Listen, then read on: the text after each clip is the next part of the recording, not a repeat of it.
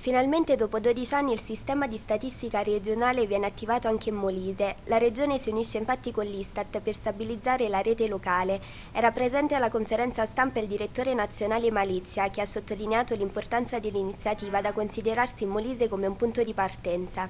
Una ripartenza che deve partire proprio dalla conoscenza della realtà, quindi costruire le basi di conoscenza per poi intervenire.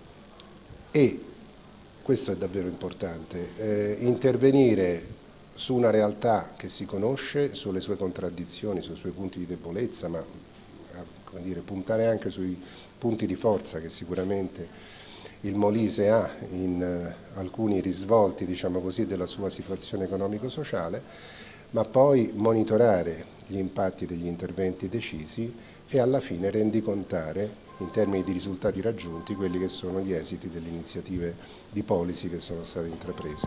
È dal 2003 che in Molise si sente parlare di Sistar, ma non è mai stato avviato. Eh, non è eh, obbligatorio avere eh, un sistema statistico regionale. In Italia eh, ce ne sono alcuni, non, non tutte le regioni si sono dotate di questo strumento. Ma quanto costa la regione Molise? Che ci sono sono eh, quasi impercettibili perché eh, si tratta di utilizzare al meglio le risorse che si hanno a disposizione in termini di eh, capitale umano e quindi eventualmente riallocare eh, risorse umane che hanno le competenze o le potenzialità per acquisire competenze idonee a svolgere la funzione statistica e poi eh, quel minimo di attrezzatura tecnologica informatica che serve per eh, dire, avviare dei processi che siano effettivamente al passo coi tempi. Da oggi quindi la Regione Molise sarà dotata di un sistema molto utile e proficuo che potrà dare trasparenza e veridicità alle linee programmatiche.